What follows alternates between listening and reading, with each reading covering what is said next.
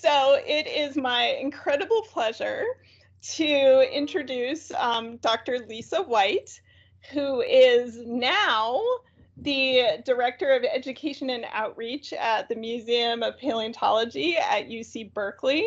Um, but before that, she has had a long and really fantastic career. Um, she was uh, all the way up to associate dean at San Francisco State University, um, where she was. You got your undergraduate degree there, and then came back and went from assistant professor all the way through to associate dean and professor. So that that's pretty impressive.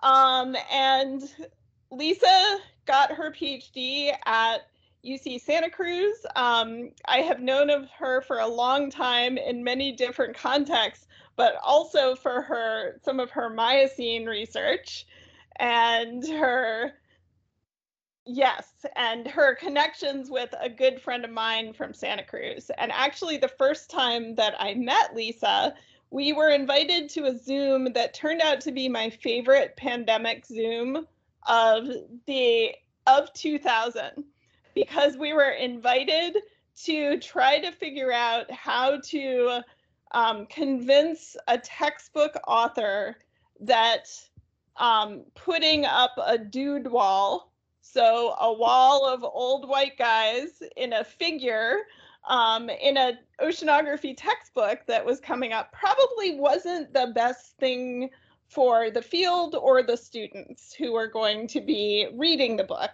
And so we developed a strategy that I think was successful. And we have moved on from there. And so I'm really excited to have Lisa join us. Lisa does a lot of different things. Um, she is also, you're the chair of the what are they calling it? The Diversity and Inclusion Advisory Committee at AGU. At AGU, yes, I am. And you are a fellow of GSA, which is super exciting, and also of the California Academy of Sciences. Mm-hmm. And um, Lisa has done a lot of great work. She's done some really, really interesting um, writing recently, including one with um, Robin Bell in 2020 called The Geoscientists geosciences community needs to be more diverse and inclusive. And that's in Scientific American. Um, so with that, I'm going to turn it over to you. Welcome. Thank you. Thank you for coming. Thank you so much, Amelia, for that wonderful introduction. And everyone, I'm just going to get ready to share my slides here. Uh, and thank you for welcoming me. Uh, let me see, where are my slides? All right, so can you all see these? Yes, thumbs up. Okay, fantastic. Let me just get my little laser pointer here. Okay, this is going to be so fun. Um, I will let you know um, from the start uh, you are more than welcome to take screen grab, screen capture, uh, any of my slides. I have some QR codes uh, on uh, uh, some of the slides later on in the talk. So if you're curious about some of the resources that I highlight, there'll be a number of URLs uh, on the slide. So take full advantage. And I know we're recording to be posted to your YouTube channel. Uh, but you know, I, I work in science communication and public outreach, and love to share my work with others. So do feel free um, to uh, capture anything you'd like uh, that I share, and also to contact me. You know, after the talk, if I can highlight more about these programs. But with some of the icons that are on this opening slide, uh, they'll be part of the programs that I share uh, during my talk with you and.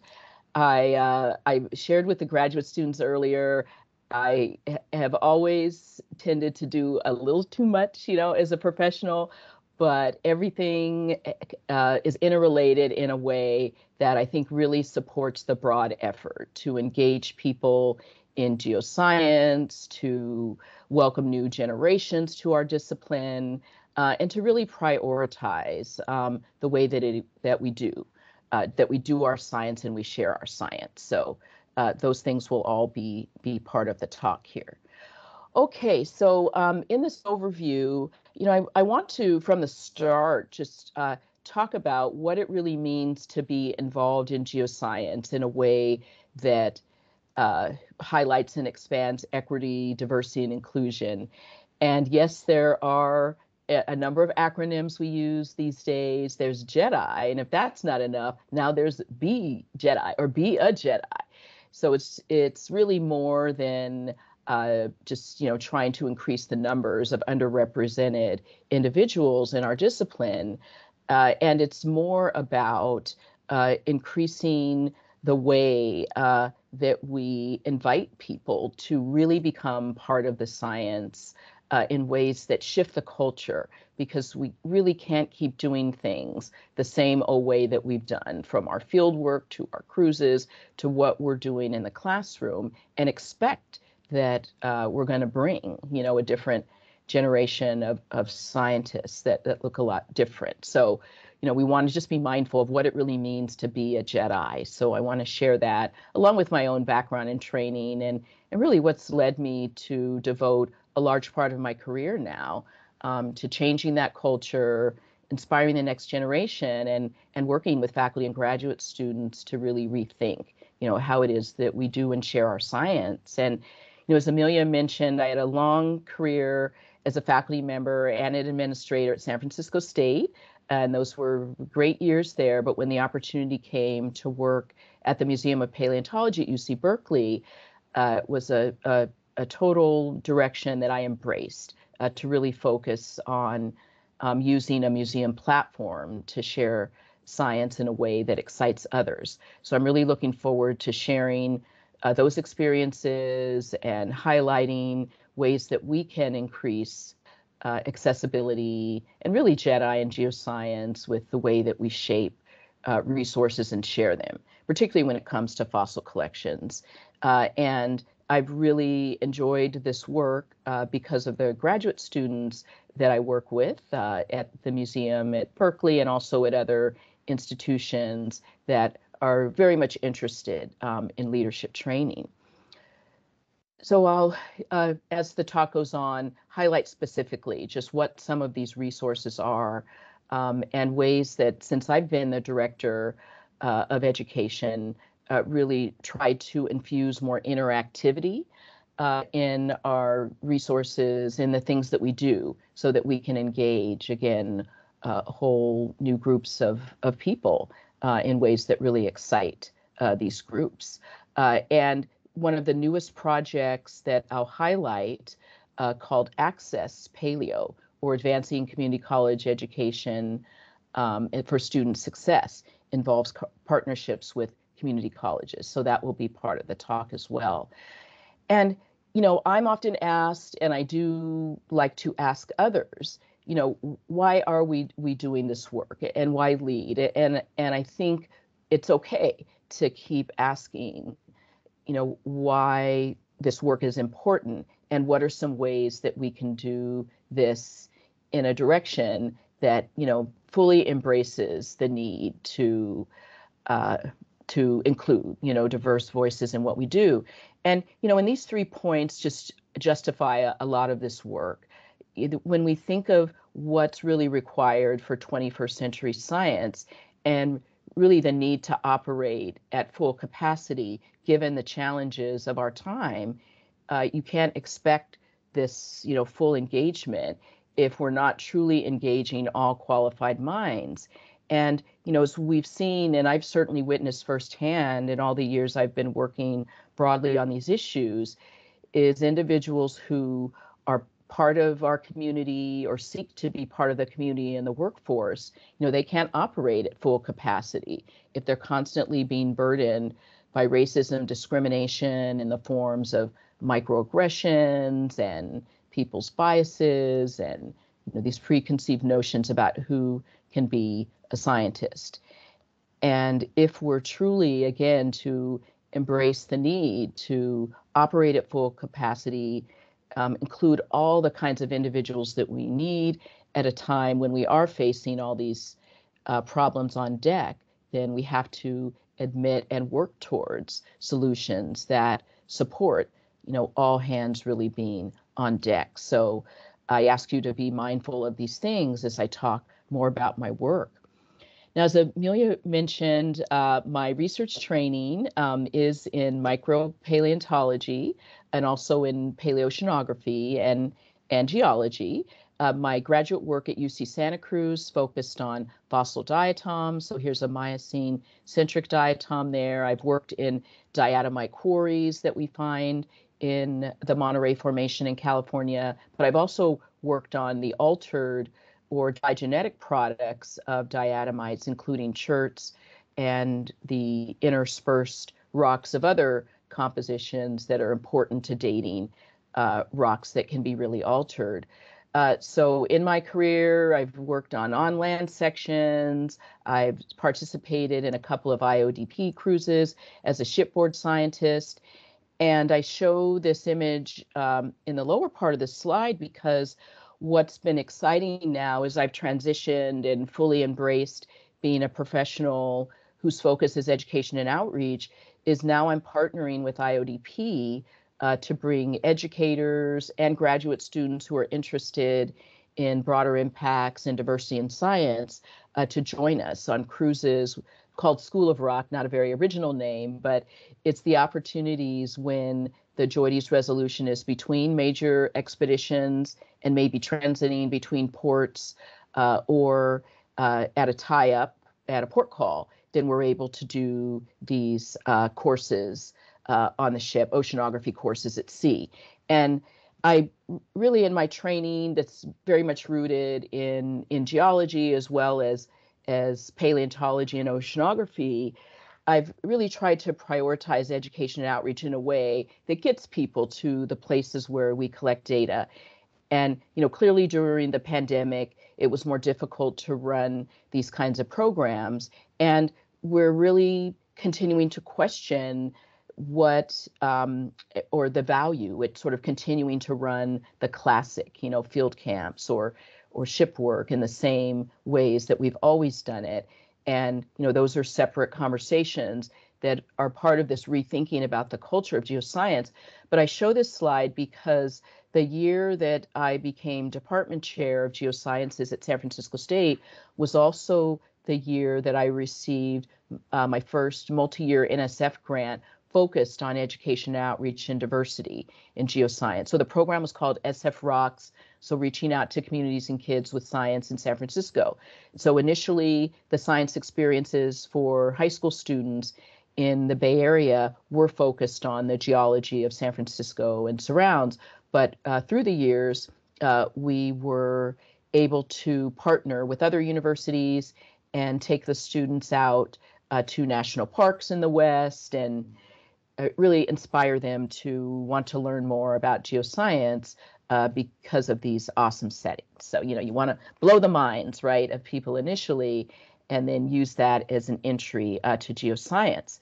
So I've taken just a, you know, a lot of those approaches in education and outreach and uh, expanding uh, inclusion and equity in geoscience uh, to partner with the research infrastructure that is so possible in our discipline to get uh, students, teachers, early career scientists out uh, to the places where it is that we um, do our primary data collection.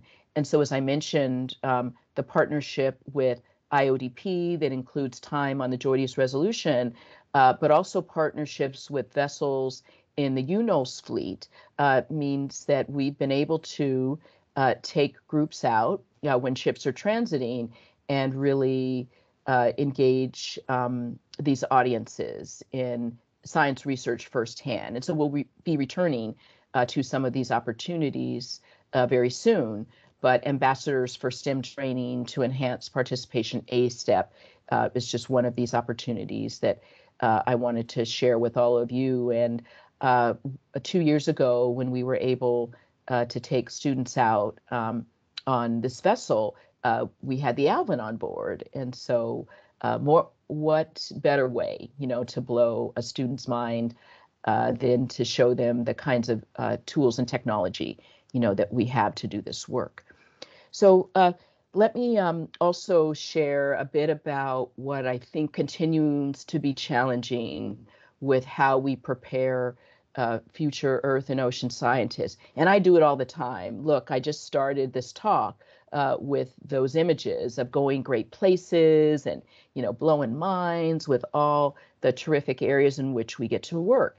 And our um, brochures are filled with those sorts of um, of opportunities, right? You know, pictures just like this that show a tropical beach, a place wouldn't you want to be there? You know, come with us and your life will never be the same. And this is how, you know, we do it in in our discipline. This is how we do our research. So that's what we sell. But honestly, you know, the experience of some students is the total opposite from that. And I'd like to think we're working um, at a time where we can just be more mindful of the image that we project in earth and ocean science is often not the experience that you know truly happens when students who may not have ever been as connected with earth and ocean science um, as we all are come out with us you know on these research experiences. And that you know, m- maybe we need to rethink sometimes not only the way that we sell our discipline, but what the actual expectations are um, when we go out so that it, it's not a nightmare. And uh, the source of this slide so, Brandon Jones is a program officer uh, in the Geosciences Directorate at NSF.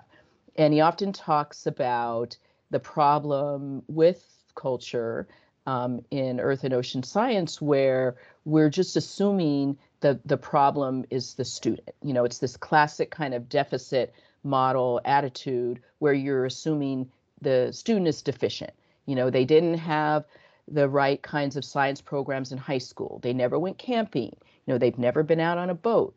And we don't stop to think that, you know, maybe it's the environment that we're putting this poor student in that is toxic. You know, don't try to fix the fish or the student you know, maybe as he says in the vernacular, the water's nasty. You know, maybe there's just something wrong with the departmental culture that has us continually showing up, you know, on the low end of the diversity metrics when it comes to who's participating in our science. So it's high time, you know, we consider changing the system in which we place people in um, and not uh, changing and, and fixing them.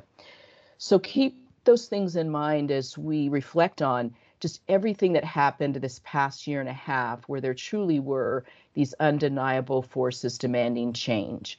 Uh, we had the pandemic, within the pandemic, uh, the reawakening, you know, of social justice in uh, the U.S. that just really demanded that you know we rethink um, how it is that we just continue to live with racism and injustice uh, and don't seem to honestly, you know, try to be changing anything.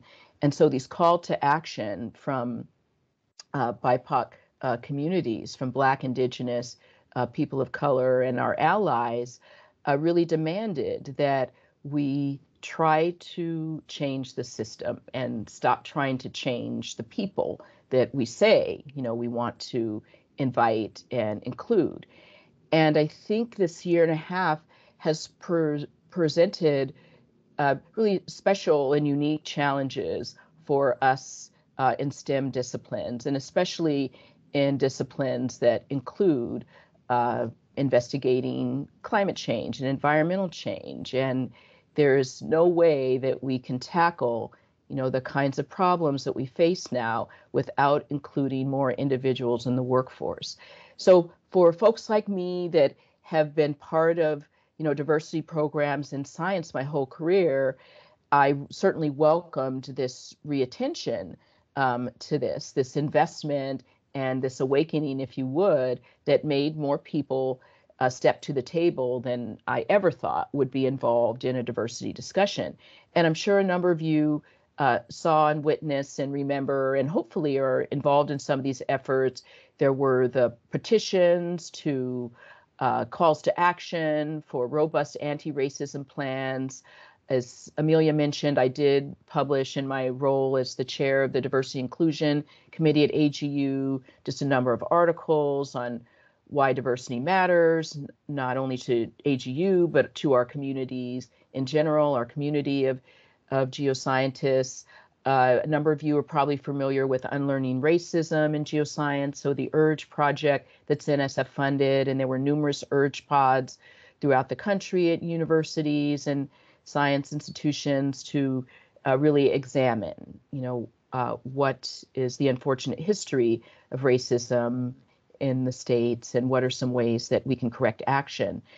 Lots of articles over this last year and a half published on field work, um, not only the challenges of field work during the pandemic, but questioning uh, why th- we are having these expectations of doing things always the same way and all of the individuals that we continue to exclude uh, because of that.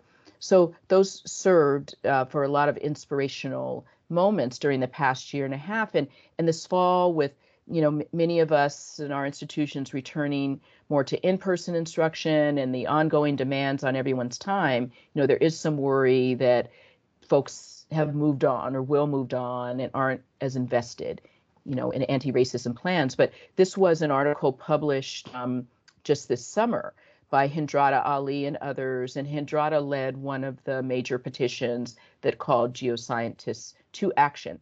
So, with this publication and others now, uh, they're really trying to give us all the tools. You know, what do we do next? How do we sustain this momentum? How do we really enact change in a systematic way that makes a difference in the places where we work and where we teach and learn?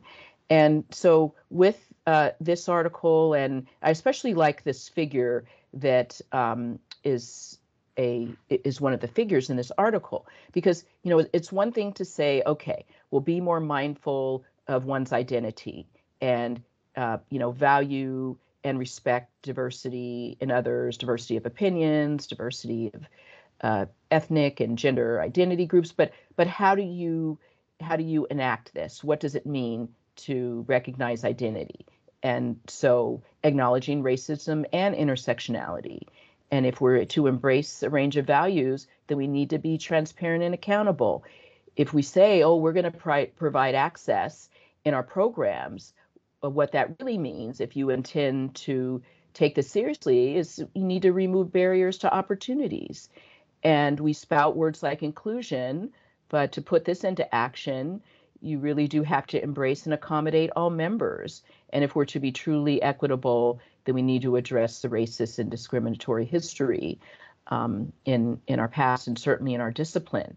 And for true justice uh, within the sciences, then really tackling the colonial approaches that we have to science and parachute science, which is the practice of, you know, just going to a country to collect information and you, you have no intention of working closely with any scientist there or even finding out, you know, what the interests are of scientists that may be in that country or in that particular area, which might be a region of the US. So you just parachute in, you know, get your samples with your own scientific team and get out and never even do something with that group. So, you know, give, given that, given our knowledge and hopefully increased level of sophistication about how to really shape programs that are truly diverse and inclusive, then I think that guide, that figure that I showed from that publication is a really good start. And this slide, as I transition to talking more specifically about some of the programs I'm involved with, um, or just a way that I've tried to really apply some of those principles as well. That includes, you know, working with the research infrastructure that surrounds us. So I'm continuing to work with IODP on a series not only of ship-based workshops for educators, but what we call impact workshops that are for professionals, um, ocean science professionals who are interested in broadening participation in utilizing the products that have resulted from all of this great history of ocean science research, but using them in a way that um, helps us bridge understanding with um, the public on what science is.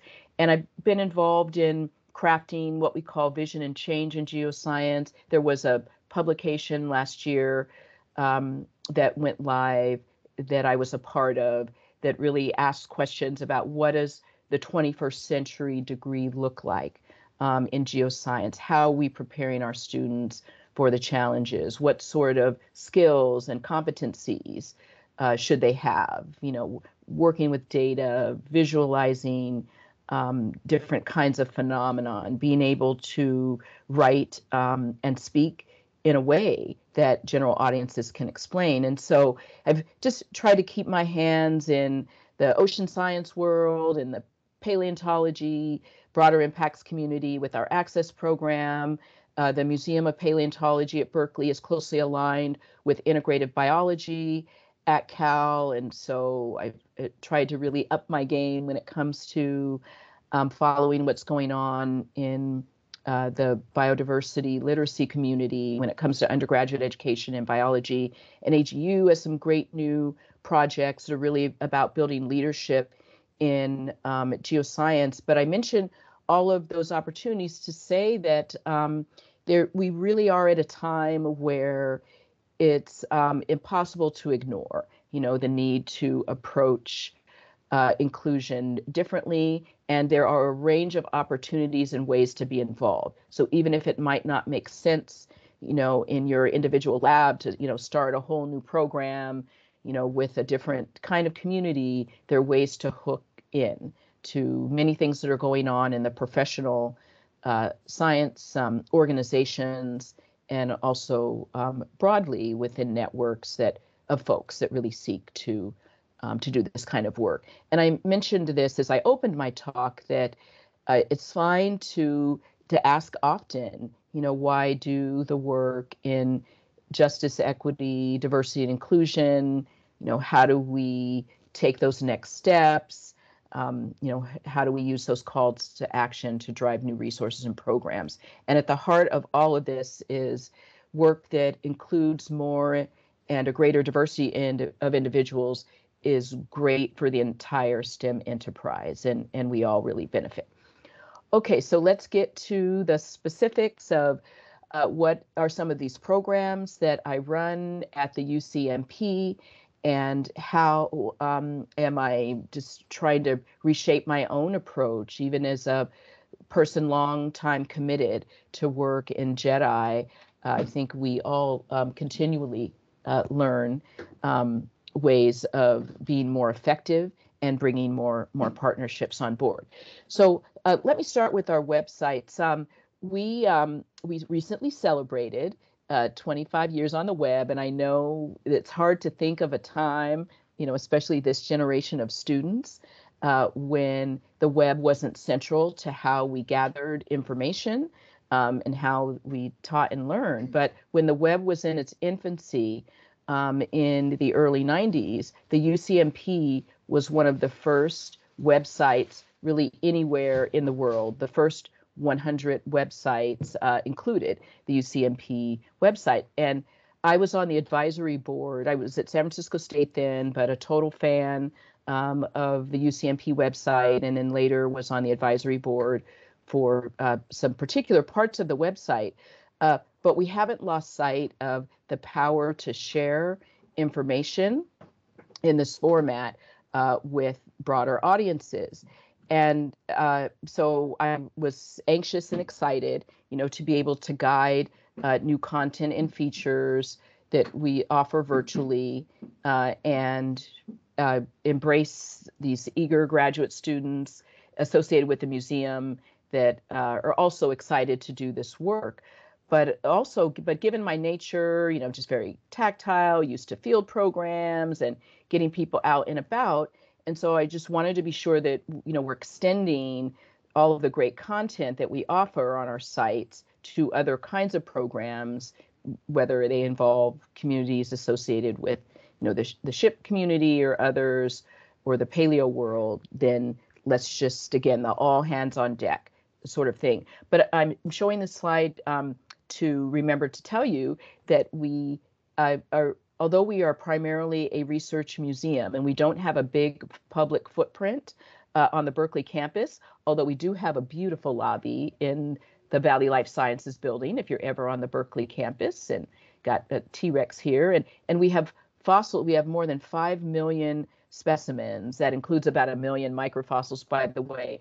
And they're stored all over in our main museum, which is behind uh, these glass doors, but also in the Campanile, our, our bell tower. When the Campanile was initially constructed in the early 1900s, um, we had and still do uh, big numbers of samples from the La Brea tar pits in Southern California. And as they were cleaning them and preparing them, uh, they smell bad, frankly, and so they needed a place to store them. So the uh, middle floors of the Campanile include fossils from there. Uh, we have lots of opportunities for students at Berkeley to intern with us to help with sample preparation and cataloging. And so that's been really central to our mission. And so, in addition to all of the virtual work that we do that I'll share, there's still people behind um, all of this work. Now, um, one of the sites after the the UCMP main website launched in the early um, uh, early 1990s, uh, then as the 2000s were approaching, uh, there was a lot of focus by the education outreach community at Berkeley at that time. So this predated me, but I was on the advisory boards uh, for uh, this project when it initially launched but the thinking here was you know let's just let's just go ahead and take on the big and important issues uh, of our time and lending just all the weight of berkeley's science scientists and know-how to share uh, thinking and understanding about evolution. And so this continues to be one of the most popular parts of our websites just receives more than a million page views uh, every month um, particularly uh, during at the beginning of the school year. We recently uh, received a new grant to refurbish this site, uh, so it'll have a new look very soon and uh, some new and more sophisticated search features. But one of the things that I've really prioritize since I've been director is bringing more of this information, whether it be in evolution or nature and process of science or global change, to audiences. And so we were recently funded with a National Institutes of Health grant uh, to build a pop up uh, museum. So the structure that you see here uh, will be a fully inflatable and deflatable uh, trailer looking uh, structure, about 30 feet in length. And inside uh, this trailer, by the way, this is the California Academy of Sciences in San Francisco and Golden Gate Park. This is one of their halls. So this mock up is what the trailer will look like uh, when um, it's finished, which will be about a year from now.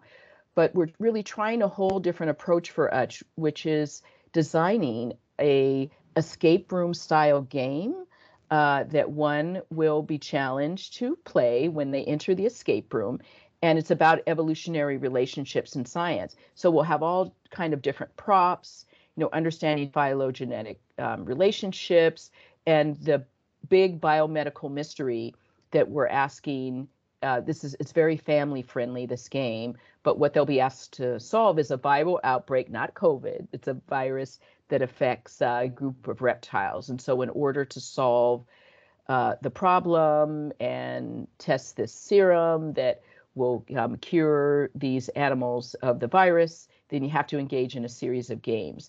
And so again we're we have firm dedication to understanding pub, the public understanding of evolution.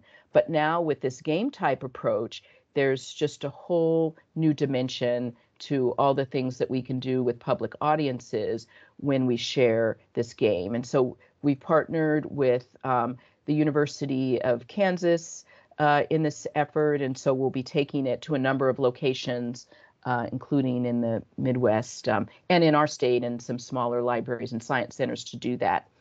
But as I march you through some of our different um, online resources, Understanding Science is a companion website to Understanding Evolution and focuses more broadly on the nature and process of science uh, and uh, really getting audiences to think about how science really works. And there's a central figure on that website that we call the How Science Works flowchart. And uh, it revolves around what's really the central pillars of, of science. So, you know, beyond this checklist of the scientific method, you know, science is inspired by exploration and discovery. and of course, testing ideas and formulating hypotheses. It benefits from community analysis and feedback. And the benefits and outcomes of science are really central to the importance of science. But with this How Science Works flowchart, it the intentional uh, direction of the arrows here, you know, in multiple ways that feed in and out of these main concepts, uh, really embraces that science is not linear, it's iterative, and it's a community endeavor. Uh, and so, with the five points that you see here, uh, there's important reminders as one is exploring the resources on this site uh, that you are part of a community uh, when you do science and that we are, rely on a system of checks and balances. Science uh, generally moves in a direction of greater accuracy and understanding, and the system is facilitated by greater diversity within the scientific community, you know, offering a broader range of uh, perspectives. And so we've used the how, how science works flowchart in a number of ways to draw attention to what scientific journeys are like and what's really going on behind the scenes when scientists propose new ideas. And so for us, you know, what better idea to share than the end Cretaceous extinction hypothesis connected with the asteroid impact? You know, a story that very much started at Berkeley uh, with the Alvarez team and uh, their collaborative group that proposed what was a, you know literally out of this world idea all those years ago. And so we plot this whole story. This is just one example of a case study on this website where we encourage the reader to take the journey you know that walter alvarez and others did. Now you know leading scientists in their field were still met with a lot of pushback and doubt when this idea uh, uh, first surfaced uh, in the early 80s. And so, but we use this as a way to just inspire people to think about not only their journey in science, but uh, scientific uh, endeavors in general. And we partnered with the Howard Hughes Medical Institute several years ago to build a interactive tool that allows one to plot really any journey in science. You're reading an article, you're diving into what the history was from a significant finding that you want to be able to graphically show. Um, you can even, with this diagram in your own uh, lab groups and your individual research, uh, really show, you know, what your pathway is in science that might be tied to, you know, a particular experiment uh, that that you're doing. And so, and I um, highly encourage all of you to check out uh, this part of our website and this interactive feature.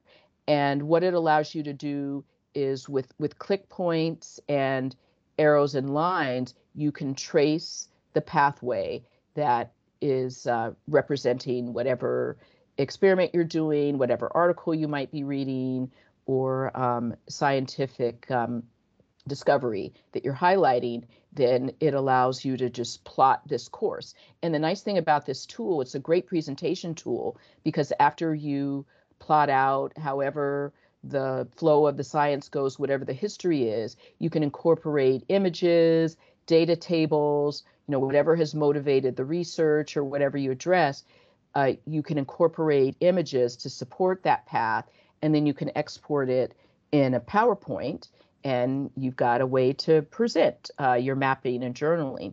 So those kinds of tools are an example again of just trying to move beyond uh, what we've traditionally done with our, our web resources, which are great sources of information.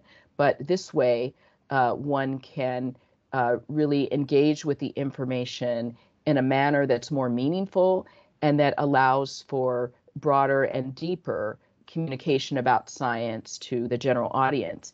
And this is our most recent web resource. So we're not done yet when it comes to the understanding series, and we're certainly not done uh, when it comes to taking on uh, big uh, topics of our time. So we've done evolution, the nature and process of science. So bring on global change.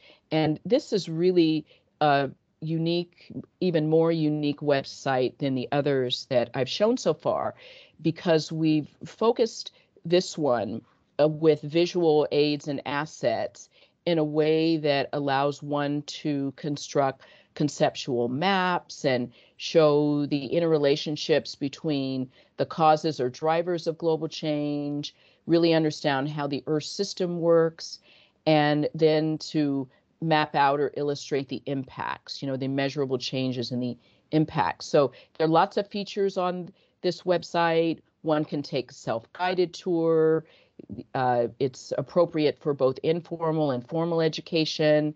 You know, and our goal in this work was to not only uh, allow or uh, support teaching and learning about global change in a way that focus not only on the causes and solutions to climate and environmental change, but that also uh, uh, enhances instruction because one can construct models to explain what drives global change. And this is a busy figure, but I show it to illustrate all the things you can do uh, with this Understanding Global Change website and the interactive tool that we have here that also was done in partnership with HHMI, the Howard Hughes Medical Institute. So with this, so this is a conceptual model of how sea level rise occurs uh, with the primary driver of burning fossil fuels. And so there are tools here. You can drag and drop a series of icons uh, that are related to causes of change, how the Earth system works, or measurable tra-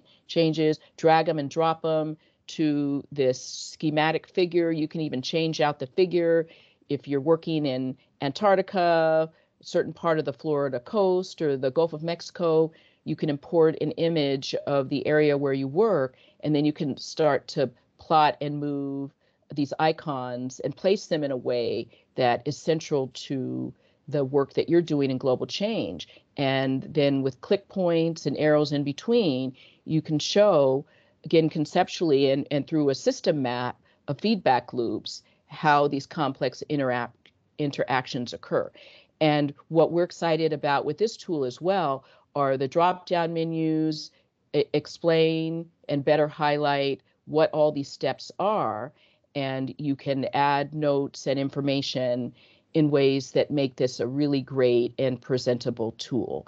Um, so as I mentioned, uh, just you know feel free to screen uh, grab and capture uh, any of my images, and you know we do hope that you um, can make your way to the websites. It's, it's great to do these this global change interactive in particular is it's just a great addition to a lab activity or exercise as a supplement to a unit that um, one might be doing on Earth systems or climate interactions. And so that we hope that um, you do enjoy some of these new tools. So let me move on to uh, another resource that uh, I'm directing that involves our fossil collections, uh, the digitization of, of fossils. Uh, there are large uh, grant opportunities these days for those of us working in biological collections and fossil collections to digitize more of our resources, uh, including the records, not only the fossil images themselves, but also all of the products that go along with maintaining a collection. So specimen records and um, locality and field data. So we become the UCMP, uh, we're part of what the NSF calls a thematic collections network. And there is a vast number of Cenozoic invertebrate fossils, you know, in dozens of museums that were not well cataloged. And so we joined forces with um, a dozen other museums, mostly along the West Coast, but also included the uh, Smithsonian in DC, to compile compile uh, records of um, fossil localities from the Eastern Pacific, or basically the West Coast of the U of the U.S you know, update taxonomy, um, modernize the record, excuse me, um, that we keep. Oh, excuse me, and and share the data in a way that improves the public understanding of why we even hold on to you know all these fossils and what are they good for and who benefits and what can we learn um, and so i directed the broader impacts arm of this project which included creating uh, virtual field experiences. So, uh, capturing the field localities where these original collections were made, and what is it again that scientists do from the time they collect these fossils uh, to them making their way into the drawers of our museum and then sharing them with other scientists. So, these virtual field experiences were started even pre pandemic, but needless to say, uh, they've come to be even more valued by the community, and we have really shaped them for pre college classes, um, uh, 9 through 12, high school mostly, but there are elements of this that are great even for elementary school. And so, you know, providing information on classic localities, demonstrating uh, how important these digital records are of the fossils in our drawers and all the associated information and really tying them into the next generation science standards practices. So these are uh, just some of the uh, field areas that are part of this exploration. And in my uh, really terrific conversation with the graduate students earlier today, you know, I was saying that I kept thinking I was going to leave research behind when I took on this role as an education director at a museum. But you know, being at Berkeley and my still love of my own research in fossils, I have found my way to still being involved in research and asking some new questions about some of these fossil localities that we've long known about.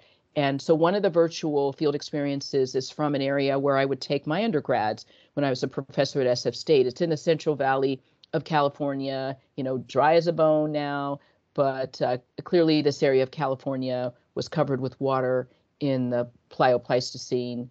Um, and there we've used gigapan photography, so a style of photography uh, with uh, billions of pixels of resolution that are just really terrific for sharing, you know, in what we call a, a story map here. So just as an example, um, here is a coin for scale uh, in this outcrop here taken with gigapan photography and that image blown up. And it does take a lot of um, stitching of thousands of images that result from the gigapan photography, but it's just terrific. Uh, the quality of resolution that we can share in these virtual field trip resources. And then we can ask questions, you know, about the fossils that you see here that you totally would have missed, you know, from this scale of the outcrop. And so it really opened a door for us to share the science, share paleontology, share our collections um, and the digital products of all this work um, in a way that others can benefit for. And so our most recent uh, story maps, which Esri, the GIS folks, they've got a, a free resource uh, journal maps or story maps that are great for putting uh, data and images and text highlights into. And so we'll be debuting at the GSA meeting in Oregon next month um, our most recent VFEs, which are from a section of Oregon, the Astoria Formation. So we're still working on these, but uh, it's been great to have that be part of our portfolio now um, in addition to you know the web resources that we've had for uh, years. You know, again, we're now developing new content. So um, let me end in just the uh, next uh, five minutes or so with community college partnerships that are part of these new and exciting directions that we're extending our science at the UCMP. And this work really was inspired by graduate students at the UCMP, one in particular who's now a community, community college faculty member uh, in Montana after finishing his doctorate last year. And he taught community college uh, in between his master's and his doctorate. And he kept asking me, why aren't we doing more with community colleges? And I really never had a good reason, you know, making excuses and everything. So he took it upon himself to start um, forming opportunities with community colleges in the Bay Area, this was before the pandemic, to bring classes of two year college students to the museum for lab section. So we would craft labs in paleontology that were consistent with some of the learning goals in that class. So, it, you know, if a paleo unit was planned in a geology class or a unit on evolution in a bio class, then we would provide that. So we came up with this name, Advancing Community College Education and Student Success.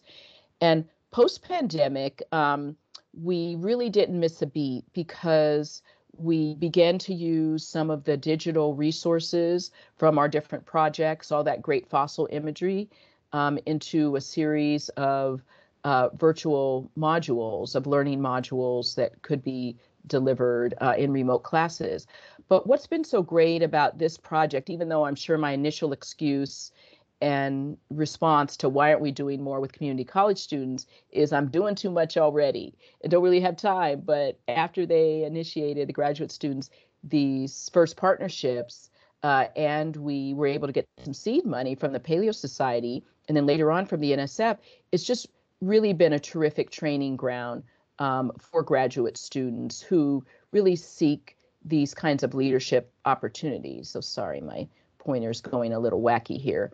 Um, and the program has really been cost effective, especially in the last year and a half, uh, because we uh, are um, have mostly offered this remotely. So I'll just show you some examples of the transitions that we made um, during the pandemic, which was basically to take the lab uh, elements and transfer them to a virtual lab that the graduate students put together in Google Forms. So this is just a sample of two here. So, and we have them on a range of topics. Um, paleobiology, which is mostly invertebrate paleo. We've got one on paleobotany. Uh, we also have some now on understanding science that uh, do focus on the nature and process of science. Uh, we've got one on deep time and vert paleo. Uh, in fact, the range of them now, and you can go ahead and um, and screen grab this, uh, but we've been really excited. The initial growth from access paleobiology and paleobotany now to evolution of the vertebrates and history of life. And we have one now on um, Earth system science that uh, ties to our Understanding Global Change website. And there have been lots and lots of benefits to growing the Access Paleo program with this, um, with these, with the digital format and the digital resources. And it just goes without saying, you know, the richness of opportunity uh, to share uh, the science of paleo um, in ways that really facilitate, you know, scientific inquiry and phenomena-based learning is part of our next chapter. And we were recently funded to develop a professional learning community with community college instructors to help with that inquiry and phenomena-based learning. And and with these uh, digital learning resources. They can certainly be run at any institution. We've had some four year institutions reach out to us as well. And so our initial partnerships with community colleges, which were based uh, only in the Bay Area, uh, has now grown to uh, 27 two year colleges and half of them outside of California. Because once we begin posting these digital resources on some of the listservs that serve community college audiences, then the feedback has really been great and has led to partnerships with with new colleges. And you know, if this graduate student hadn't asked me why aren't we doing more with two-year colleges, then we probably never would have had this program. So um, I certainly benefit tremendously uh, from all of the terrific ideas graduate students have. And it goes without saying, you know, working with community colleges uh, gives us opportunities to uh, really uh, meet uh, some of the student uh, demographic groups uh, directly, and um, we're able to uh, really try to um, aid the community college resources, their resource needs with this work, and um, really attract some of the audiences that are important to us. So I'll just um, end with a couple of slides that capture a um, capture images from an article that was published in a series, uh, one issue of a series that AGU EOS did this past year and a half that uh, shines light on opportunities to really broaden the workforce, engage in diversity and inclusion in a different way. And uh, this group of authors made the argument that we should be reimagining the STEM workforce in a way that embraces the different pathways that people have um, as they enter the geosciences. And it's very different from the structured pipelines that uh, we were used to in like those initial articles that you would see about diversity would always talk about the leaky pipeline. You know, everybody comes in the same way. And if you dare, you know, try to go in a different direction and not follow that pipeline path, then you just don't get counted anymore. You know, you leak out and you opt out. But in, you know, reimagining the STEM force as a braided river, then, you know, we embrace that there are multiple entries and exits to a career path in geoscience informal STEM experiences, like the kind that we try to deliver uh, in museum settings, are super important.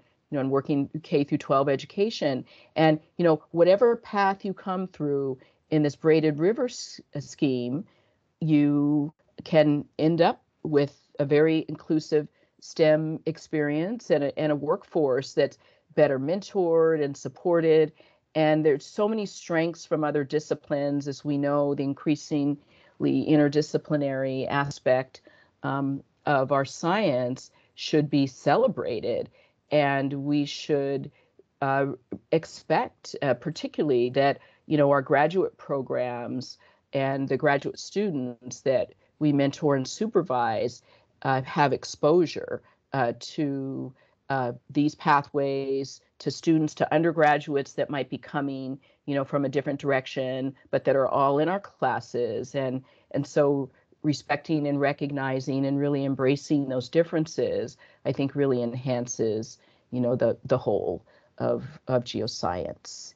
And let's see i think my last slide is yeah just a thanks to all the terrific people that i have the privilege of working with at the the ucmp and uh, of course, value all of the sources of, of support uh, that have come my way, and um, just happy to take take some questions. So I will um, stop sharing. Let's see. Let me escape that, and um, we will go from there. Okay. Well, thank sharing? you. Oh. You did. Thank okay. you so much, Lisa, for that amazing talk. I'm going to open it up to questions. But first, okay. I just want to say that whoever thought of the escape room has a 14 year old child because my daughter would absolutely love that. And it's just so cool. Um, but what I would like to do is open up questions to um, the students. And if you would just raise your hands, we're going to start with students and then move on to anyone else. Um, so raise your hand if you have a question or just jump in. Okay. Anyone? And Amelia, oh, okay. Yep. Sam. Yeah, and I may not be able to see every. Okay, Sam, Samuel. Okay. Oh. Hi.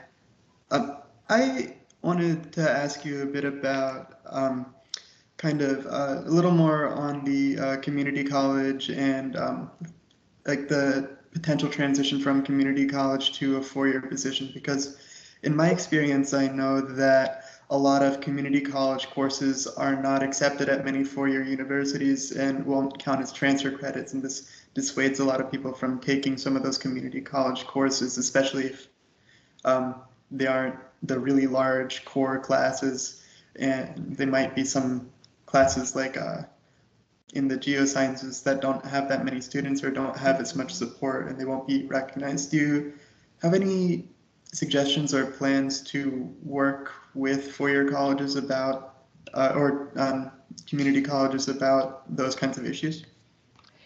Yes, because that has been a huge challenge for years are the articulation agreements or the lack of between the two year and the four year college, especially in, in disciplines that include geology and ocean and, and marine science, because there there's such the range you know of two-year colleges and their ability to teach the kinds of classes that are required for a, a four-year college degree you know in earth or, or marine science. And there have been students you know super excited when they take you know maybe their first earth science course at a two-year but when they look at options for getting um, a full undergraduate science degree in that discipline at their local community college, there may be nothing, you know, there or, or not the right sort of transfer agreement.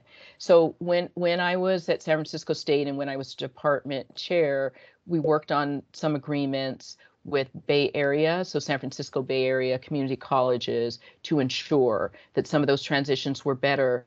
And I'd say over the years, at least in our state, you know, there are all these commissions now and um, different levels of committees at both the universities of California, the California State Universities, and the two years to work on just that, uh, because there is a, a an agreement now um, and really a rule that if a student has 30 units of credits from a two-year college and uh, you know, they want to complete their science degree, they should be able to do it in two more years, you know, in in um, 120. Well, if they have 60 units, I guess, after two years, yeah, at a community college, then they should be able to take those additional um, 60 units or two or three more years to 120 units at a four year.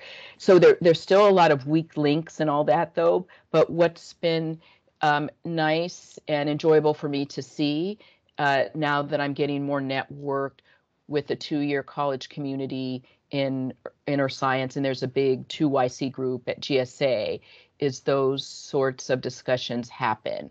And it does take a lot of state level work though, because there are so many differences, of course, in um, each of our states of how the agreements um, are ironed out between the two and four years.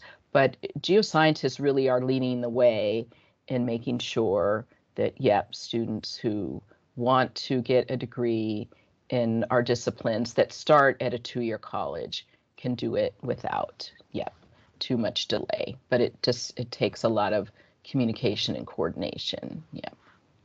Mm-hmm. Thank you. Mm-hmm. Dylan, I see you and your hand. oh yeah, you got that right. Thank you so much uh, Dr. White, thank you for a wonderful talk. Sure. Um, at the beginning, you made a specific point that the culture of geoscience is starting to change, and it comes down to us on the individual level to do, to really push that. Um, right. And then at the end of your talk, you mentioned this braided river model, which I think is rather powerful. How do you suggest that those of us in the audience bring up the braided river model in casual conversations, right. kind of you know, make that change in the geoscience community. Yes, there's there's been there've been a lot of this model sharing of how to do things differently. You know, after the pandemic, within the pandemic, and Black Lives Social Justice, and this sort of reawakening, uh, there are ways that you know I hope all of these movements inspire and that we're seeing you know groups publish on like that braided river and then you know the, the group that um, has the anti-racism approaches. So but but yeah but a lot of the work starts starts locally you know in in departments really asking questions looking at how we advise and mentor um, what kinds of opportunities we have for students who might be first generation or not as familiar with our science. You know what practices do we have going on you know in our own individual labs and also in classrooms? And you know and i shared with the graduate students during our conversation earlier that every time i see an ad for a postdoctoral opportunity or an assistant professor faculty position you know as i'm writing letters for students uh, who are applying for their first prof- professional positions, you know, they all require a diversity statement, um, uh, your perspectives on science communication and and education outreach. And I know these are slow shifts in the culture of our departments, but we really should be encouraging graduate students to get some experience in that area because it matters, you know, when you apply for jobs. And so if you can, you know, be part of conversation groups and focus groups. I there was an URGE pod at Berkeley. I didn't participate in it, but I know that's one way departments have started that kind of cultural shift. It's just to have those real hard, difficult conversations about the way that we speak to each other and value or devalue individuals and and so I don't recommend that. Yeah, you you know you start a whole new group, but but you can um, you know bring forth ideas. I think um, to departments in a way that is consistent with really what we're trying to do. And and I had um, one of the images I had in a slide where I talked about some of the programs that I'm part of.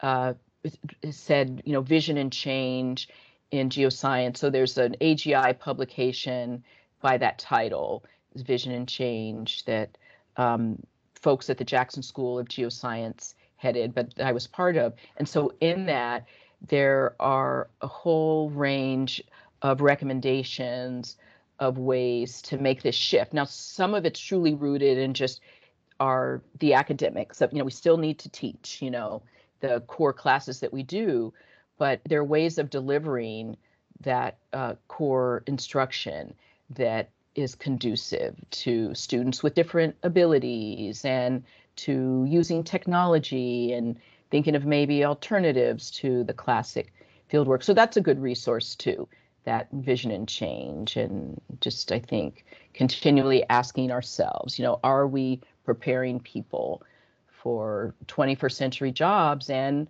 for communicating and working, you know, across all of the diversity gradients that, you know, are part of the, the modern world. Excellent. Well said. Thank you very much okay. for the detail sure. and thank you for your yeah. contribution. Okay, thank you. I have the um, braided river all over my. Yes, that braid. When I had an office door, it it got on there, and right. I love it. I absolutely love it. Yep. When I first saw that article, I thought, okay, this has so much value. Um, and just seeing the way, yeah, that they made that analog to a lot of the ways, yeah, we should be thinking about, um, you know, advising and yeah, and recommending students to to follow their career path. I have somebody who has her hand raised who is teaching a professional development class in our college. And I think she would probably love to ask a question. Okay. Is that Maya? Maya. Hi, Maya. Hi, Lisa. Thank you. That was a great seminar. And I'm, I'm so excited about so many avenues and therefore a little embarrassed that what I'm going to ask you is about semantics. But I think it's important. So you started, you know, with talking about Jedi and be a Jedi. Yes. I also noticed that you, you know, you use the term BIPOC in your seminar. And yes. I just yesterday there was an article that I saw in Scientific American about um, how the term Jedi is kind of problematic for for DEI efforts, and I and I don't know, you know, like know that we need to get into the weeds, but I think part of the problem with having these hard conversations, like you were just telling Dylan about, is that people are actually unsure of what language to use. And that's going to be highly dependent on, you know, each individual and their background and, and their mm-hmm. space and what, what they prefer and what they're most comfortable with. How do you recommend kind of getting past not having the right words right. into getting into the conversation? Okay. I appreciate your question. It's a great one. And there are times in talks where I do away with some of the acronyms and just talk about what it means to meaningfully engage, you know, a broader spectrum of individuals because we when when the terms when the term Jedi, you know, initially surfaced and even be a Jedi, it almost made light of the effort and seem to minimize, you know, the importance and seriousness of how you truly, you know, increase diversity and manage equity and um, yes, how these what these terms really translate to when you're trying to do the work. uh, and and yes, there and and some folks aren't comfortable, you know, using BIPOC, and it just you know it lumps a whole lot of people together. And what if you're not a member of that group? Does that mean that you can't really have discourse around um, folks of color or folks you know within that group? So what I have found myself doing more is there was a figure I showed from a paper on action steps for anti-racism had like a polygon and it had you know equity and justice and inclusion. And then it was color coded and there was a a tip you know or an action item dire- directly related to equity or diversity. It's like that to me is so valuable because it helps explain you know what we mean when we say identity and then how do we move to uh, improve and incorporate and acknowledge the role of identity in everything that we do. Um, and so, no. Oh, I'm sorry, everyone. I'm helping my mom today. So, and and yeah, I probably have to go in about a minute. Um, yes. So my thank you for that. And I really, I I might even just start my, um, yeah, start my talks with that one figure that just breaks it all down and doesn't use so many acronyms and um, Well, yeah. Just to be clear, that wasn't a criticism of you Okay. uh, Yeah. at all. Um, Okay. it- it's just I feel like sometimes we get stuck in the language and not knowing the right language, and that actually Right. prevents us from having the hard Okay. conversation. Well, and I think Right. that our diversity and inclusion um, committee that's just forming actually had that conversation in committee yesterday based on Mhm. what I overheard in the other half of my house. Um, but for those of you, I know Lisa has to go, and so we should say thank you. Um, and thank you, Maya. Um, I didn't mean to cut you off, um, but I know you need to go, Lisa. I will actually put a link to that article in the Teams. Um, so you don't have to That's worry about it, and that Okay. we have access to that figure that you actually um, showed. So Okay. with that, can we all open up our mics and thank Lisa for a wonderful seminar? And I wish it was in person so we can hang Me out more. I know. Well. I hope a future Thank you. invitation. Yes. Thank you. And, and please reach out. I, time went by so fast, but Maya, if, if I can ever, you know, have a conversation with your lab group or department, I'd be more than happy to. And others that may have questions, please do reach out. So, We're going to be fighting over you. Excellent. Thanks, Lisa. okay. Well, thank, Thank you you so much, so Amelia, for inviting much. me. All right, everybody have a great weekend and uh, Go help your see you some mom. I will. Okay.